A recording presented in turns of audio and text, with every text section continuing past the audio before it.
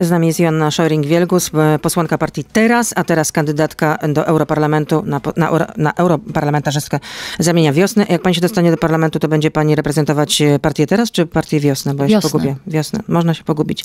Startuję z wiosny, będę reprezentowała wiosnę i będę w takiej rodzinie politycznej, do której pójdzie wiosna. Czyli pani już nie jest w partii Teraz. Na razie jestem, bo jestem w Sejmie. Proszę pamiętać o tym, że y, cały Wiosny nie ma w trwa Sejmie. posiedzenie, wiosny nie ma w Sejmie. Muszę jakoś e, funkcjonować, muszę mieć możliwość zabierania głosu. Gdybym była niezależną posłanką, na całe posiedzenie miałabym tylko 6 minut. To jest strasznie mało. Musieliśmy oddać psy, bo mam alergię. Kundli nikt ze znajomych nie chciał. To są pani słowa, które pani napisała na Facebooku. Potem je wyka- wykasowała. Może się za za mało pani postarała, żeby znaleźć dobry dom. To akurat nie są moje słowa, bo nie powiedziałam, że kundli nikt nie chciał. Na Facebooku napisałam coś zupełnie innego. Ale chciałabym, e, jeżeli mam okazję, bo, bo e, jestem w radiu, jakby przedstawić fakty, tak? Ponieważ jest dużo przekłamań i e, informacji, które są niezgodne z prawdą. No to jak po było w takim pierwsze, razie? tak, już mówię. Tak, jestem alergiczką od przeszło 20 lat. I wcześniej to pani nie przeszkadzało, że miała pani przeszło- psy? Od przeszło 20 lat i w związku z tym, że jestem alergiczką, nasze psy zawsze mieszkały w ogrodzie. Zawsze. To jakby też był mój warunek. A były z panią od małego? Były z Od nami. szczeniaka? Tak, tak, tak. Były z nami, mieszkały, mieszkały w ogrodzie. Zależało nam na tym, żeby A wzięła pani ze schroniska, czy się. z- skąd one tam E, przyjęły? Mój pani mąż dostał po prostu psa A. w prezencie i e, ja byłam trochę przeciwna, bo wiedziałam, że nie jestem w stanie, ale e, mieszkać z psem w domu i zamieszkaliśmy z domem, z ogrodem i psy po prostu były z nami e, w ogrodzie, tak? Także nie przeszkadzały mi, tak? E, alergicznie, tak? Nie miałam z tym problemu. I dwa i pół roku temu e, stanęliśmy przed trudną decyzją, bo to nie była łatwa decyzja, co, co też mówiłam i też pisałam w swoim oświadczeniu. Ona była dla nas dramatyczna. Musieliśmy podjąć decyzję, bo się przeprowadzaliśmy z domu z ogrodem do mieszkania. I naprawdę nie znalazł się żaden z pani znajomych, który by wziął Mój te mąż, psy mój do mąż siebie do który domu? jest psiarzem, y, bardzo zaangażował się w szukanie nowego domu dla psów. Nie udało nam się, ale To był rok 2016, tak? tak, z tego co pamiętam. To tak, pani już była popularna. 2006 A dlaczego w ogóle pani nie byłam, Jak w ogóle nie byłam A gdyby pani popularna. napisała na Facebooku, że szuka jednak dobrych opiekunów, nowych opiekunów dla swoich y, ukochanych Pani psów. redaktor, ufam bardzo mojemu męż- mężowi. Zrobił wszystko, co wiedziałam, że zrobi najlepiej. Natomiast pomogła nam e, sąsiadka nasza, której e, rodzina, siostra albo kuzynka, już teraz nie pamiętam, pracuje w schronisku. Powiedziała, że nam pomoże i obiecuje, że znajdzie dla naszych psów nowy dom. I tak też się stało, za co jej po prostu bardzo dziękuję, bo tak naprawdę chodziło nam o to, aby psy miały dobry nowy dom. I tak jest. No ale schronisko to nie jest y, dobry dom. To, jest, tak- to nie jest dobra, bezpieczna Ale one znalazły nowy przystań. dom poza schroniskiem, No tak? to I dobrze, nam to, to tutaj chwała Bogu. super, I tutaj tak. chwała Bogu, no ale, I bardzo się z ale tego schronisko to jest ostateczność. Ale napisała pani, zamiast przywiązać do drzewa, uśpić lub zostawić na autostradzie, co niestety się zdarza, znalazłam moim ukochanym psiakom e, dom w dobrym schronisku dla zwierząt. W ogóle po co takie porównanie? No, czy pani nie powinna jednak y, świecić przykładem? Właśnie dlatego, że są takie osoby, które mają takie pomysły i wcielają to w życie, że zostawiają swoje psy właśnie na autostradzie albo przywiązane do drzewa, na przykład zimą jeszcze, kiedy jest siarczysty mróz. Moje oświadczenie było rzeczywiście bez sensu. Tu przyznaję, nigdy bym e, już wcześniej, e, następnym razem takiego nie napisała. Powiem jeszcze raz, zależało nam na tym, aby psy miały nowy dom, taki znalazły. Zaufaliśmy tej pani, która e, jakby przechodziła, e, jakby przeprowadzała tę procedurę e, z moim mężem i cieszę się, że psy znalazły dom i to jest ten dobry finał. No pani też napisała, że musiała pani zmienić mieszkanie na mniejsze. Z domu musiała się pa- pani wyprowadzić do, do mieszkania. To mieszkanie ma ile? 100 metrów? Nie. No ale sądzi pani, że psom byłoby lepiej, czy psom było lepiej w schronisku w ciasnym końcu niż Pani w redaktor, mieszkaniu z rodziną? Psy kochają po prostu redaktor, swoich właścicieli. Ja nie mogę mieszkać ze zwierzętami. Mam e, alergię w zasadzie nie tylko na sierść, ale również na e, pyłki, na w zasadzie wszystko. To są alergie krzyżowe.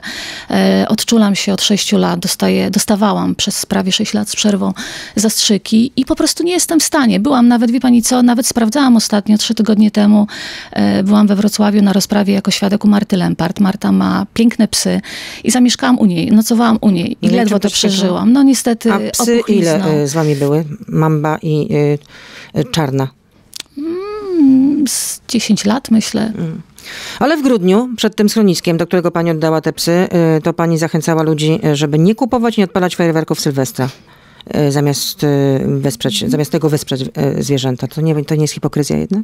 Pani redaktor, jeżeli ktoś się zwraca do mnie z prośbą o pomoc, żeby jakby zadziałać w takim celu, to ja jestem bardzo otwarta i zresztą to nie jest tajemnicą. Ja wie pani, co tego nie ukrywałam. Jeżeli były mm, jakby dyskusje na temat, czy używać fajerwerków, czy nie, ja jestem przeciwnikiem, tak? I, I uważam, że każdy powinien jakby w tym celu, w ten sposób się wypowiadać. Ja też, tak? Także A na rzecz schroniska, pani w- jakieś wpłaciła Proszę? jakieś, czy na rzecz schroniska wpłaciła już pani pieniądze, czy będzie czekać, jak się dostanie do parlamentu, tak jak pani powiedziała, jak e, obiecała. Jak dostanę się do Europarlamentu, to wpłacę 20 tysięcy złotych. Pani redaktor, Mhm. e, wpłacam na wiele organizacji społecznych i nigdy się tym nie chwaliłam i chwalić nie będę. I, i w zasadzie wszystko na temat psów już myślę powiedziałam i Ale może wchodziła zna. pani chociaż na schronisko w Wadowicach Dolnych. Wczoraj był taki e, e, dramatyczny apel pracowników e, tego e, sch- schroniska w internecie, ponieważ ono zostało podtopione. Sytuacja była naprawdę bardzo dramatyczna. Pewnie będzie też potrzebny remont. Wpłaciła pani chociaż, nie, Nie, wiem, nie, 10 zna, nie znam tej złotych? sytuacji, dlatego że wczoraj e, zajmowałam się sprawą e, księdza Andrzeja Dymera ze Szczecina, którą próbuję rozwikłać i o której mogę poopowiadać, ale sprawdzę, nie wiem, nie znam tematu. Oddanie najwierniejszych przyjaciół z domu, których, które kochają, do najgorszego dla nich miejsca jawi nam się jako okrutne i nieodpowiedzialne, tak uważają działacze organizacji, którzy, które bronią praw zwierząt. Są Ja oburzone pani Ja rozumiem, zachowaniem. e, ja rozumiem krytykę i ją przyjmuję, natomiast e, e, chciałabym podziękować też osobom, które mają psy i które zrozumiały, e, co miałam na myśli, dlaczego podjęłam taką decyzję. I jeżeli mogę, to chciałabym podziękować Paulinie Młynarskiej, Zbyszkowi Hołdysowi, Pawłowi Kasprzakowi, Marcie Lempart i wielu, wielu innym ludziom, którzy po prostu wczoraj do mnie pisali i wspierali. Ale chyba najbardziej wzruszyło mnie, wzruszył mnie telefon od Kuby Hartwicha, który, który też ma psa, który zadzwonił do mnie. Kuba Hartwig to jeden z liderów e, e, tego um, ogólnopolskiego, nie, tego sejmowego, przepraszam bardzo, protestu. protestu zadzwonił osób do niepełnosprawnych tamtym Zadzwonił wczoraj do mnie, długo rozmawialiśmy, bo zresztą współpracujemy ze sobą. Kuba jest moim asystentem, e, który powiedział mi coś w stylu psy szczekają, karawana idzie dalej, ja jestem bardziej hejtowany niż ty, nie przejmuj się. A czy dzisiaj w proteście osób niepełnosprawnych w Warszawie będzie pani uczestniczyć? Wesprze pani te osoby niepełnosprawne? Wspieram osoby z niepełnosprawnością zawsze, ale nie będę osobą, która przemawia, tylko jestem zawsze w tłumie i będę pomagała tym osobom, które będą miały problemy też z przejściem, ponieważ cały ten, cała ta manifestacja jest od Pałacu Prezydenckiego do premiera i później do Sejmu. Także będę na pewno w tłumie. Ale gdzieś. przejrzałam pani interpelacje z ostatniego roku i są tylko dwie związane z tym środowiskiem, ze sprawami osób niepełnosprawnych. To mało. Interpelacje są jednym z narzędzi, No natomiast ja na co dzień pracuję z Jakubem Hartwichem i, i działamy u nas w Toruniu. A co pani jeszcze zrobiła na Natomiast- rzecz e, tego środowiska osób natomiast niepełnosprawnych w ciągu ostatniego roku? Pracuję z Kubą Hartwichem Mhm. i e, odpowiadamy na zapotrzebowania mieszkańców właśnie tej, tej kwestii i mu pomagam, tak? Kuba Hartwich, jak wiecie Państwo, jest osobą z niepełnosprawnością od urodzenia, przyjmuje interesantów u mnie w biurze, też zresztą jest świetnym... Ale teraz to pani jest głównie. Świetnym, Mhm. świetnym rozmówcą, jeżeli chodzi o telefony do nas, do biura poselskiego, bo do nas dzwoni bardzo dużo osób właśnie z takimi problemami. Ale powiem jedną ważną rzecz, dlatego że planowaliśmy z protestującymi, że będziemy czynnymi uczestnikami wszystkich debat w Centrum Dialogu. Niestety uniemożliwiono to osobom, które protestują, dlatego że dostały zakaz wstępu do Sejmu na wszystkie komisje. y, I nie mogła pani dwa- temu przeciwdziałać? Nie e, mogła pani temu jakoś zadziałać? A pani redaktor, ja sama jestem na czarnej liście u marszałka Kuchcińskiego. Natomiast te osoby, które protestowały, ta cała dwunastka ma zakaz wstępu do Sejmu i ich uczestniczenia na komisjach do 20 maja, 26 maja 2020 roku. Szkoda, dlatego że mają bardzo fajne postulaty i mogliby naprawdę dużo dobrego wnieść do tych dyskusji. A dlaczego w pani spocie wyborczym wystąpiła właśnie Iwona Hartwig? W moim spocie wyborczym wystąpiły osoby, które, których działania ja wspieram. Jak, jak pani zauważyła, to nie jest spot taki, gdzie ktoś mówi popieram Joannę Szojring-Wielgus, bo to nie o to chodziło, tylko ja popieram e, działania, które robią te osoby i bardzo Iwonie za to dziękuję. To był i, e, pomysł pani Iwony, czy pani pomysł? Nie, to był pomysł e, mój. Zapytałam się, wielu osób się pytałam i e, Iwona powiedziała z wielką przyjemnością, więc cieszę się, że, że jest ze mną i mnie wspiera również. A to nie jest tak, że pani swoje zainteresowania głównie przeniosła na, na walkę z pedofilią w kościele jednak? Wie pani co, kwestie, jak był protest osób z niepełnosprawnościami, to ja już zajmowałam się, pracowałam z Fundacją Nie Lękajcie się, ale to była taka praca powiedzmy w ukryciu, bo żeśmy e, Artur Nowak, Agata Diduszko-Zygleska i e, Marek Lisiński e, pracowali nad przygotowaniem mapy pedofilii, raportu, e, konferencji, które, bo się odbyło przecież e, już sześć konferencji na temat e, pedofilii. Jedna dotyczyła konkordatu i, i, i to się też trochę nałożyło na siebie. Zresztą rze- rzeczywiście jestem mega skupiona skupiona teraz na, na, w kwestii pedofilii. Tak jak powiedziałam przed chwilą, e, rozpracowuję i chciałabym generalnie przypomnieć Państwu o księdzu Andrzeju Dymerze I o tym za chwilę porozmawiamy jeszcze. O tym porozmawiamy teraz już w internecie, w, w części internetowej. Jesteśmy cały czas na Facebooku, na Radio ZPL. Z nami jest Joanna Szoring-Wielgus. Zapraszam.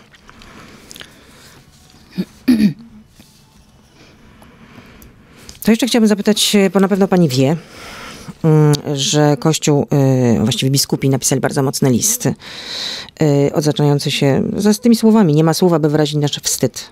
Czy przekonali panią biskupi tym listem? Szczerze? List zaczyna się też od mocnego cytatu z Ewangelii Świętego Mateusza. No tak, ale y, te słowa święte, Świętego Mateusza są znane od y, tysięcy lat. Kto by się stał powodem grzechu dla jednego z tych małych, którzy wierzą we mnie, temu byłoby lepiej kamień młyński zawiesić u szyi i utopić go w głębi morza.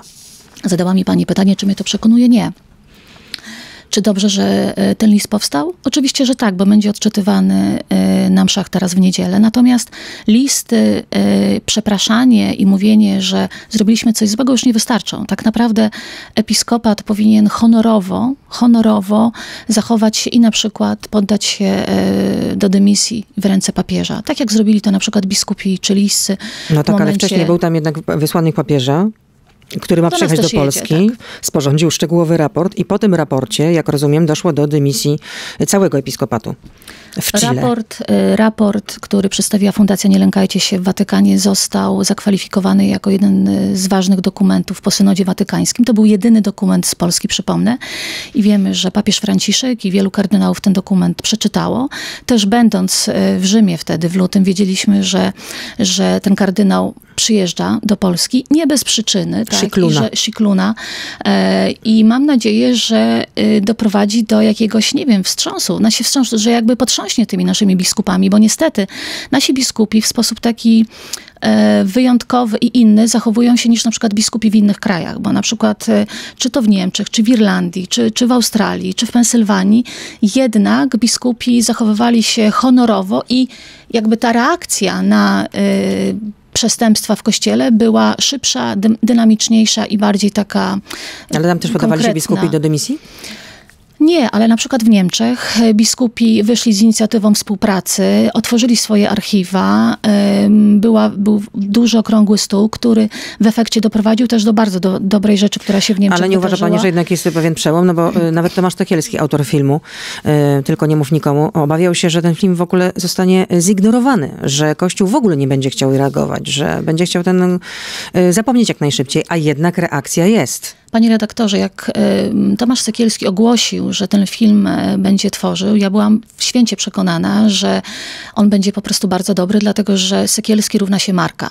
I byłam też jedną z osób, które wpłacały na ten film i jestem z tego bardzo dumna, więc nie dziwi mnie to, że ten film wstrząsnął, dlatego że to jest świetna publicystyka pokazująca jak jest, ale przede wszystkim nie, to nie chodzi o pokazanie pewnych historii, tylko Sekielski pokazał wszystkim nam mechanizmy działające w Kościele, mechanizmy ukrywania i przenoszenia. I to jest, i jeżeli ktoś wcześniej tego nie rozumiał, bo przecież jest mapa księży pedofilii, gdzie te przypadki są opisane oprócz przypadku zlichenia, bo tego nie wiedzieliśmy, ale wszystkie inne są. Był raport, który przecież jest dostępny dla wszystkich. Nikt na to nie zareagował. Okej, okay, mogło to być po prostu za słabe, ale ten film naprawdę pokazał coś, co, no myślę, że otworzył ludziom oczy i ja się bardzo, bardzo cieszę z tego powodu. Nadchodzi sąd nad wilkami w koloratkach. Tak mówił do wiernych e, zaraz po emisji tego filmu w, w pierwszą tą niedzielę. E, w krakowskim kościele świętej Barbary jezuita ojciec Jacek Prusak. Może jednak to jest taki symptom, że e, część kleru doskonale rozumie, co się dzieje w kościele i że trzeba zareagować i to w sposób bardzo radykalny. Pani redaktor, mamy 30 tysięcy księży. Mamy prawie 150 biskupów i zachwycanie się pojedynczymi wypowiedziami uważam, że jest e, niewystarczające to, że jakiś ksiądz coś powie, super, tak? Bo też słuchałam e, księdza Prusaka i mówił rzeczywiście od siebie, szczerze. E, natomiast nie powinniśmy dawać się zmylić, dlatego że to, co na przykład mi zabrakło w tym liście, o którym pani mówi, to e, jakby pokazanie, że Kościół ma świadomość tego, że przenosił, że działa systemowo i że to jest problem Kościoła, bo w tym ostatnim chyba zdaniu, czy w ostatnim akapicie jest napisane, e, żeby jakby nie wsadzać, oczywiście nie wsadzamy wszystkich księży do jednego worka, ale jednak ten nacisk jest na to, że w naszym kościele większość to są księża, którzy są dobrzy, świetni i tak dalej. Więc moje pytanie jest takie, to dlaczego ci księża nie reagowali na to, widząc co się dzieje? Dlaczego? I wrócę do księdza Andrzeja Dymera, dlatego że my odkryliśmy, się odkryliśmy, wrzuciliśmy go na mapę w październiku mm, zeszłego roku, ale to jest przykład, właśnie taki typowy przykład księdza, który ma bardzo duże e, lobby wśród polityków, jest bardzo mocno umocowany. Wszyscy wiedzą. No to z kim że, się zna, jeśli chodzi o polityków, e, ksiądz Dymer? Pan poczeka, pani poczeka, przepraszam. Ma e, bardzo duże powiązania z władzą, ale tą, która była, bo to tak naprawdę pierwsze informacje o tym, że ksiądz molestuje chłopców e, były w latach 90. Alarmowali już wtedy księża również do e, episkopatu i do Watykanu. Ksiądz jest hołubiony przez wszystkich polityków, wszystkich opcji, Platformy, Prawa i Sprawiedliwości. I dowiedziałam się właśnie wczoraj, że ten ksiądz, e, który teraz chyba mieszka w domu jakichś emerytów, nie pamiętam, dostał kolejne dofinansowanie z Ministerstwa Ochrony Środowiska, no bo jest przyjacielem też byłego ministra środowiska pana Szyszki. I to jest właśnie te, jakby historia tego księdza pokazuje właśnie mechanizm ukrywania ze wszystkich stron powiązań z politykami. A co ma na sumieniu ksiądz Edymer? Molestował chłopców, było prawie 100 przesłuchiwanych osób w latach 90. To jest taki przykład takiego Jankowskiego, tylko nie z województwa pomorskiego, ale z zachodniopomorskiego. I, e, I jakby ten przykład pokazuje, jak bardzo Kościół jest silny, jak bardzo jest wykorzystywana władza do ukrywania przestępstw. I dla mnie jest to przerażające i uważam, że dziennikarze e, śledczy powinni jak najszybciej się z tym zająć. Szczególnie, że po filmie e, Tomasza Sekielskiego i Marka Sekielskiego zgłosiły się kolejne osoby, które w Szczecinie powiedziały o tym, że były wykorzystywane przez tego księdza. I wzrosła też liczba y, wpłat na konto nie, e, fundacji, z tego co słyszałam również.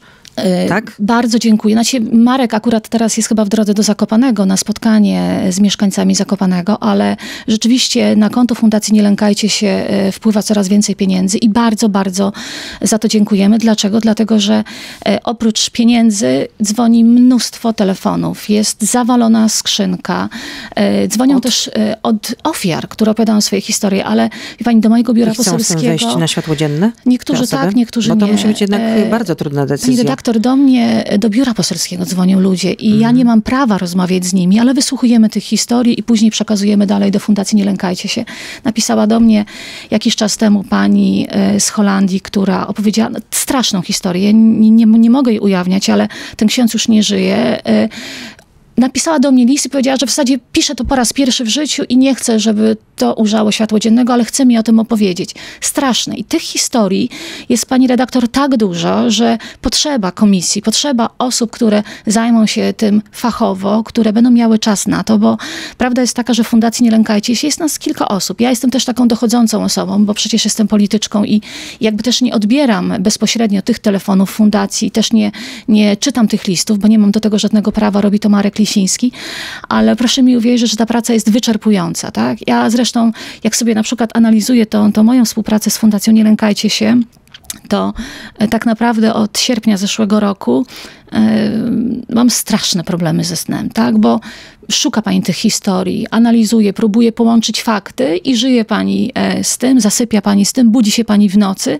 coś e, łączy się pani w którymś momencie i jest to mega. Jesteśmy po prostu wyczerpani, tak? E, dlatego jeżeli państwo nie chcecie na przykład w kościele dawać na tacę, to chociaż tę złotówkę wpaćcie na fundację, nie lękajcie się. Wszystkie informacje na ten temat są właśnie na stronie fundacji. Jak to zrobić? A wiarygodność szefa fundacji nie została lekko nadwyrężona, czy też bardziej nadwyrężona, mówię tutaj panu, o panu Marku Lisińskim, no prasa napisała, że w zamian za 200 tysięcy złotych y, był, był w stanie w 2014 roku odstąpić od działalności publicznej.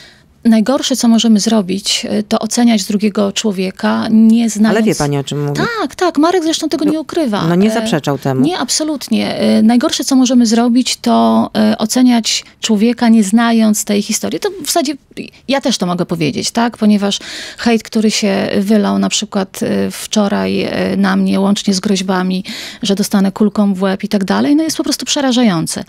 Natomiast to nie chodzi o to, ale, czy ja Ale dziwi się pani, dlatego że wiele wiele osób tego nie rozumie. Przecież e, ludzie, którzy mają zwierzęta, kochają je naprawdę Pani bardzo redaktor, mocno. ale ja- E, Zwierzaki śpią w, w, em, ze swoimi Ja właścicielami. Naprawdę, no więc trudno się dziwić, Pani naprawdę. redaktor, to są, ale pani mówi o krytyce i ja nigdy z krytyką, jakby biorę krytykę zawsze, ja po nawet prostu ludzie nie są w stanie tego zrozumieć. Ale hejt i mówienie, że podejdę do ciebie i strzelę ci kulką w łeb, no to, to, to są rzeczy, które nie powinny się pojawić. Ale wracając do Marka Lisińskiego.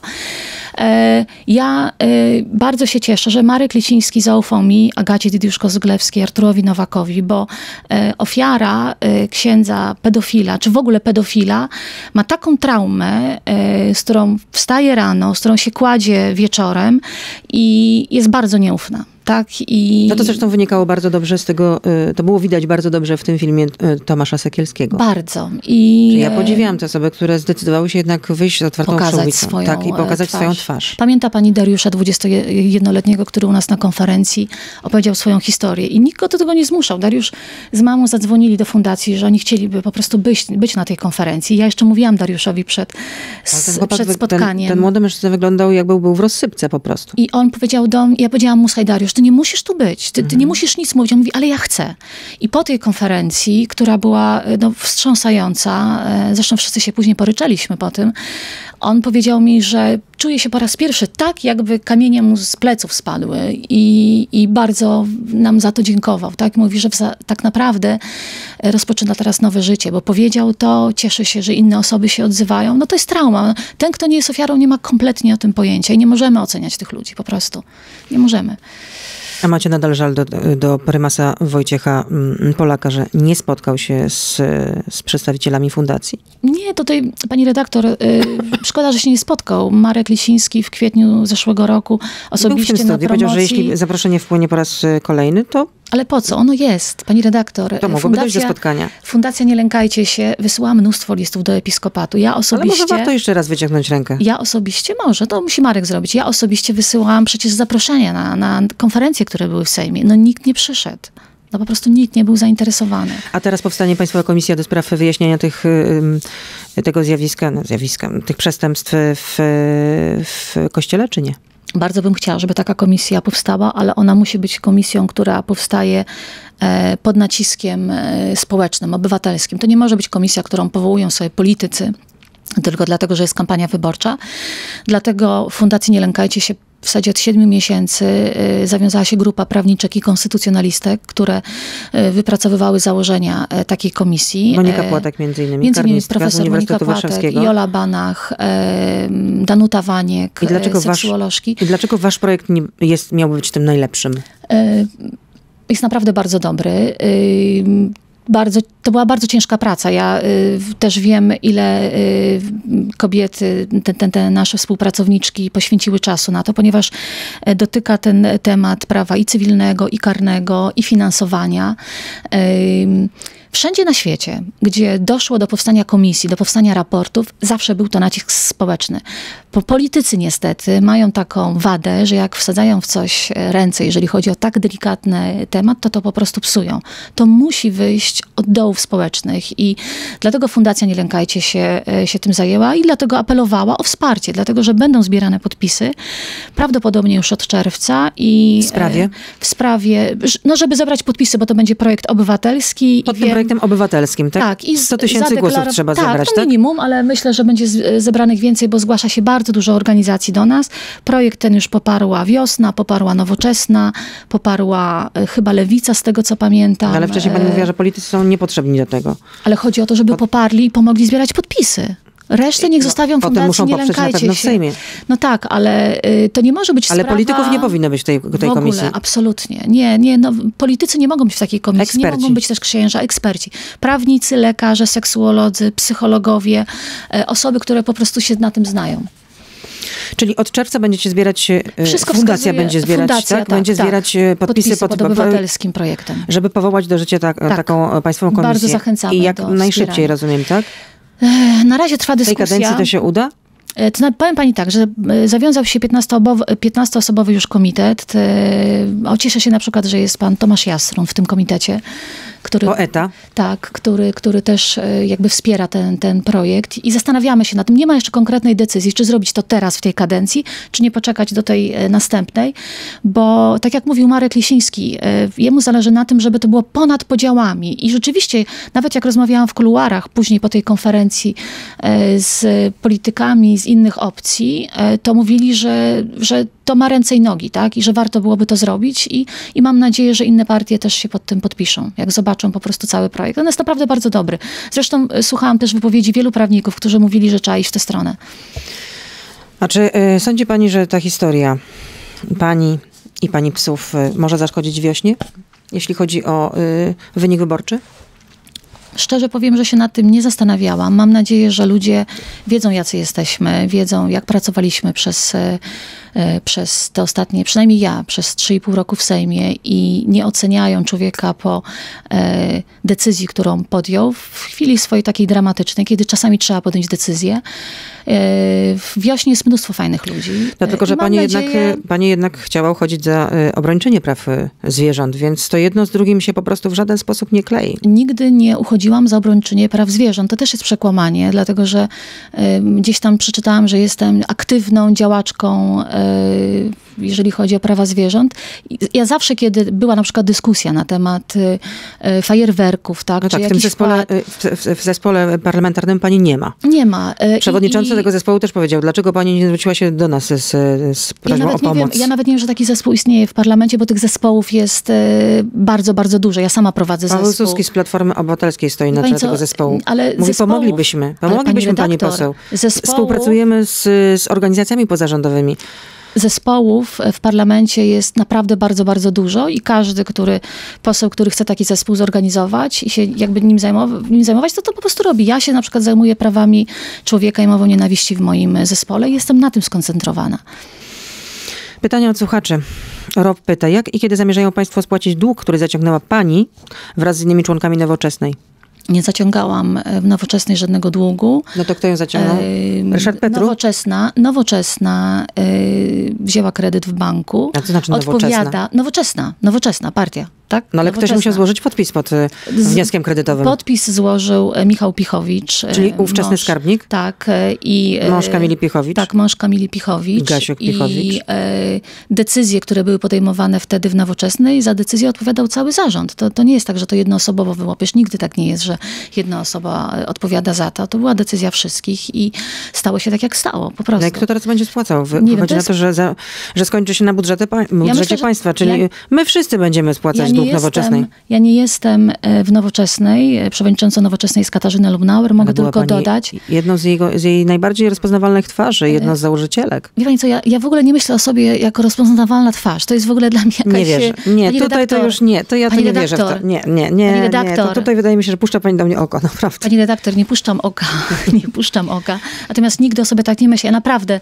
e, ci co mnie znają, to wiedzą, e, jaka jestem. Natomiast e, mogę tylko dodać, że jak Ryszard Petru był przewodniczącym Nowoczesnej, to regularnie spłacał zobowiązania. Regularnie. No a teraz słyszymy, że te długi osiągnęły już e, ponad 4,5 miliona złotych. Nie mam no zielonego to, to pojęcia jest o tym. jednak bardzo dużo. E, Kociara z Centralnej do Polski też pyta właśnie, dlaczego pani nie ogłosiła tego na swoim Facebooku, że szuka nowego domu dla swoich psów? Czy Mój- też domu tymczasowego? No. E, Dlaczego załatwiła pani sprawę po cichu? Nie, nie załatwiłam po No jak cichu. to nie? Pani redaktor, y, to nigdy nie było tajemnicą, że y, taka decyzja zapadła. Zresztą też mówiłam to pani dziennikarce. Mój mąż, y, który jest psiarzem, powiedział, że się tym zajmie i ja mu ufałam i mu ufam nadal. Wiem, że podjął bardzo dobrą decyzję, że bardzo dobrze to zrobił. Dziękuję tej znajomej naszej, bliskiej, która rozwiązała tę sprawę i jakby zadbała o to, żeby psy znalazły dom. I to jest szczęśliwy finał i to jest najważniejsze dla mnie. Kolejna osoba pyta, czy mieszkanie nad biurem poselskim e, pani poseł opłaca ze środków sejmowych czy prywatnych? No przecież wiadomo, że z prywatnych, pani redaktor.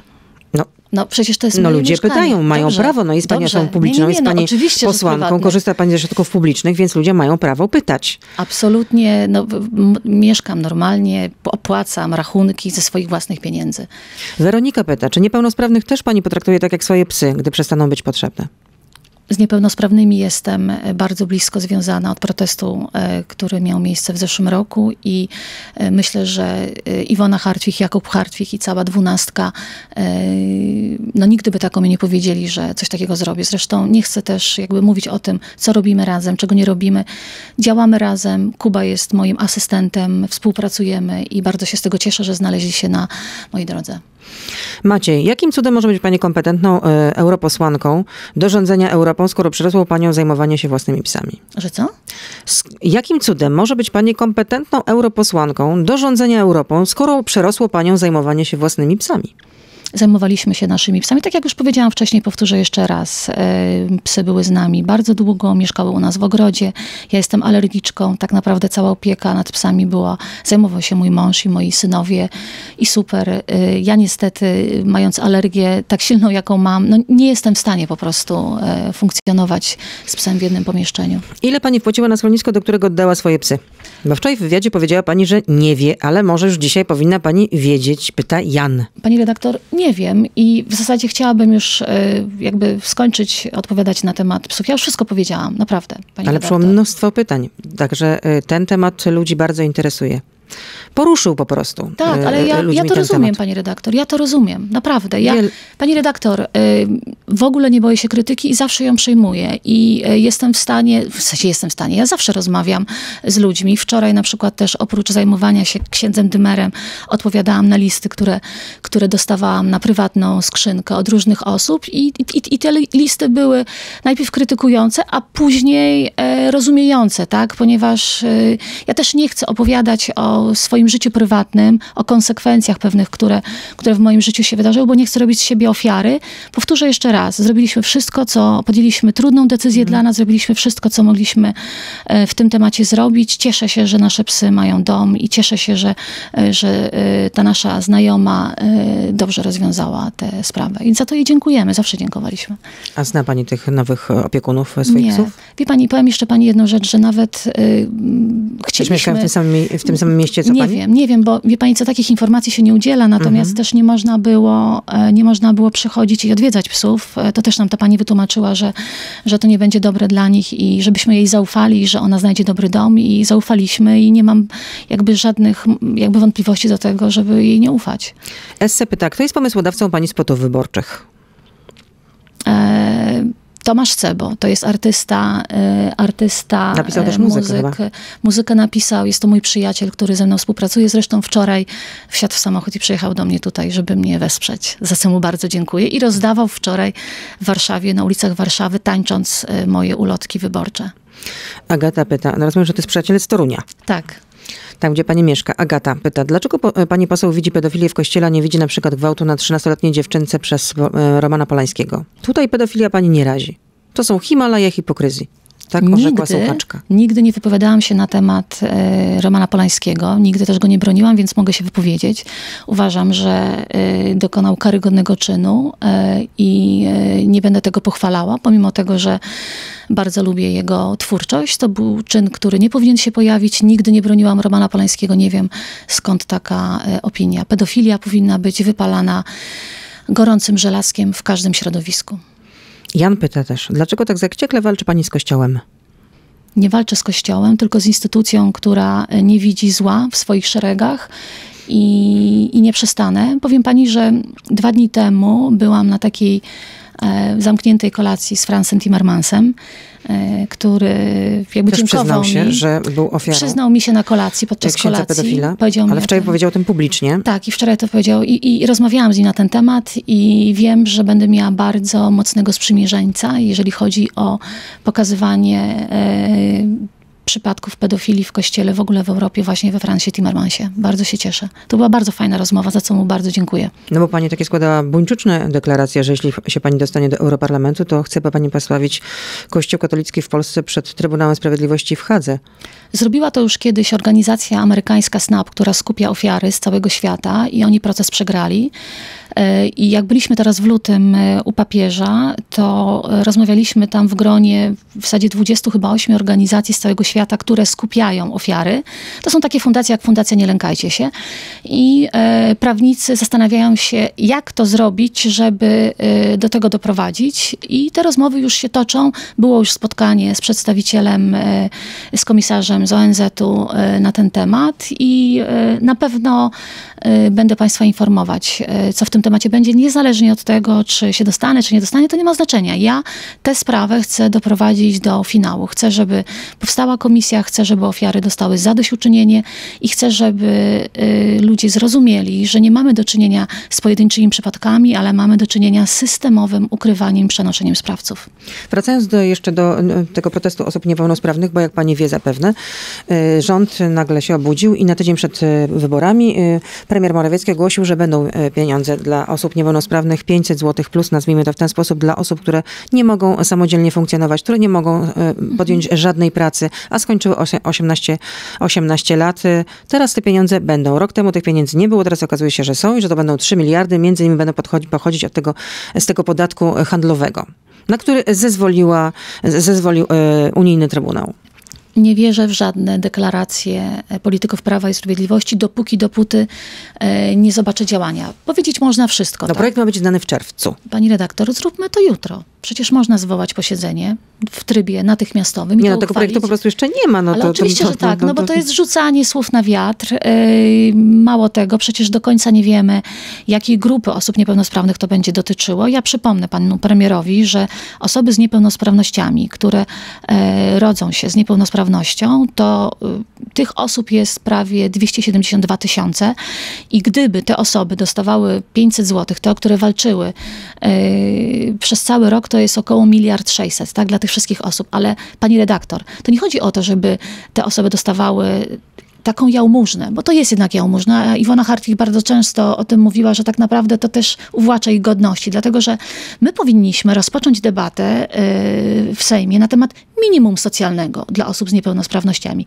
Bo gdyby obliczyć, ile pieniędzy tak naprawdę na życie potrzebuje osoba z niepełnosprawnością, ktoś to obliczył, to jest około 4 tysięcy. Przecież Jakub Hartwig, który jest moim asystentem, który będzie dzisiaj na proteście, który będzie na pewno dzisiaj przemawiał i mówił o swoim życiu, dostaje na życie niecałe 900 złotych. 900 zł. Ani pani, ani ja, a jesteśmy zdrowe, byśmy nie dały rady. Po prostu, no nie da się wyżyć z 900 zł na życie.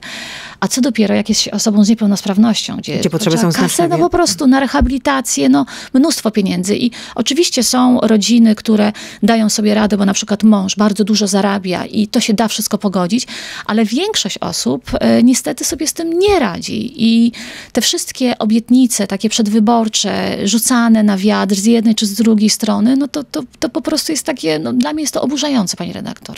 Naprawdę.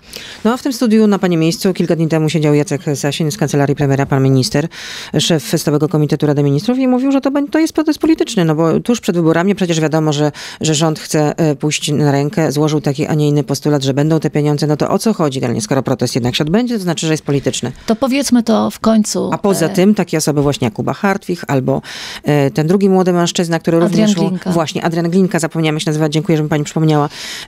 Startowali przecież do, e, mm, w To samorządach. powiedzmy to raz, wyborach a dobrze. samorządowych pod egidą Koalicji Obywatelskiej, To więc to już w ogóle jest takie rozpolitykowanie, że To głowa mała. to, to powiedzmy to raz, a dobrze. Każdy protest, niezależnie od tego, czy to jest niepełnosprawnych, czy nauczycieli, zawsze jest polityczny, bo to jest polityka. Polityka jest wszędzie. Jest na ulicy, jest w służbie zdrowia, jest, nie wiem, w domu dziecka, jest... e, po prostu nas dotyka wszędzie i każdy ma prawo zaprotestować, jeżeli walczy o swoje prawa. I bardzo dobrze, że Adrian Glinka i, e, i Kuba Harcik startowali w wyborach, bo tylko oni e, są w stanie przekonać czy w samorządzie, nie wiem, czy w I Sejmie, reprezentować jeżeli, i reprezentować dobrze swoje interesy środowisko. takiego I środowiska. bardzo dobrze i bardzo się cieszę, że y, Jakub Harcich, Kuba, dostał się do Rady Miasta Torunia. Jestem z tego dumna.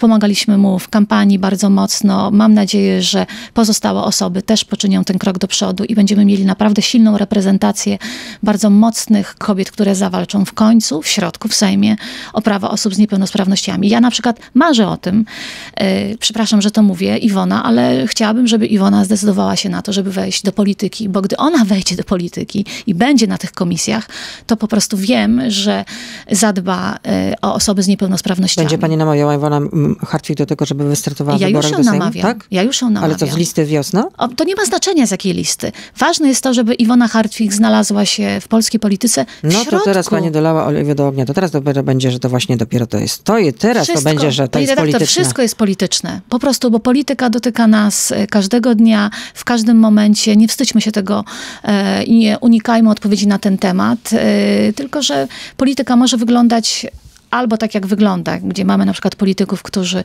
nie wiem, kłamią, oszukują, e, nie wiem, dokonują jakichś malwersacji, albo będziemy mieli polityków, którzy walczą o ideę, tak jak na przykład Iwona Hartwig. A co z panią, jeśli pani nie dostanie o- do Europarlamentu? No bo to jest raczej mało prawdopodobne. Chociaż nie, to będzie tak.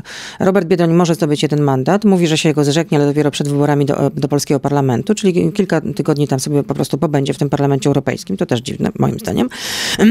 No to jeśli by zrezygnował, to pani pewnie by wzięła ten drugi mandat. Pani redaktor, jeżeli będzie taka sytuacja, to mandat weźmie ta osoba, która ma najwięcej głosów. No to to jest jasne, To to no to będzie. oczywiście. No tak to Natomiast e, wynika z ordynacji. wielokrotnie już to powtarzałam. Ja wszłam do polityki po to, żeby zrealizować cele, a nie po to, żeby mieć miejsca gdziekolwiek. Przecież ja y, nie myślałam o tym jeszcze rok temu, że ja w ogóle będę startowała do Europarlamentu. Jakby te myśli zaczęły się pojawiać w styczniu, kiedy zaczęto mi to proponować. I wtedy po, po, y, przed wizytą do Watykanu pomyślałam sobie, że byłoby super, gdybym miała więcej możliwości akurat w tym temacie, bo wiem, że takie będę możliwości miała. Zgłosiło się już do mnie kilku e, posłów z innych krajów, którzy wiedzą, że się tym że jak się dostaną, to będą jakby ze mną e, w tym temacie działać. I już, i czy się pani redaktor dostanę, czy nie dostanę, to i tak będę to robiła. Ale będzie pani wtedy startowała do, do polskiego parlamentu? Jeśli nie znajdzie się pani w Europarlamencie? Pogadajmy o tym po 26. Nie wiem, naprawdę. Naprawdę nie mam zielonego... nap- Pani redaktor, szczerze, nie Serio? myślałam o tym. Serio. Serio. Jakoś- Pani redaktor, y, siedzę w Fundacji Nie Lękajcie się i rozkminiam różne przypadki związane z księżmi, którzy e, przenoszeni, przenoszeni są z parafii do parafii. Przez ostatnie A co pani dni chce osiągnąć w sprawie księdza Dymera? Chciałabym, żeby e, znalazł się w więzieniu i chciałabym, żeby Ma swojego odpowiedział... takiego już no, nie najmłodszego wieku? Pani redaktor, Bo nie może być lat? tak, jest starszym panem, już nie wiem, ale nie może być tak, że księża, którzy dokonują e, przestępstw, są hołubieni. Są hołubieni. Ksiądz Andrzej Dymer jest niestety i był hołubiony przez klasę polityczną e, ze Szczecina i trzeba to wyjaśnić, trzeba to pokazać, dlatego to, że to jest ewidentny przykład takiego Jankowskiego. Naprawdę. Czyli chciałaby pani księdza Dymera postawić przed sądem, tak? Tak. I doprowadzić do tego, że sąd go skaże. Tak. To wszystko bardzo dziękuję. Dziękuję Anna bardzo. Szojring-Wielgus, posłanka y, partii Teraz, ale startująca z listy partii Wiosna. Zachęcamy Państwa do głosowania, w ogóle A do przepisze się do głosowania. pani partii Wiosna? Panie redaktor, y, to są rzeczy kompletnie nieistotne Mm. teraz. Ale wspieram bardzo Roberta Biedronia. A rozmawiał i- z panią na temat tej sytuacji, jeśli chodzi o psy? Oczywiście, że tak. No i co, reprymendę pani W ogóle urządził? mam stuprocentowe, nawet dwustuprocentowe wsparcie z całej wiosny, za co bardzo, bardzo im dziękuję. Bardzo dziękuję. Dobrego Dziękuję dnia życzę. bardzo.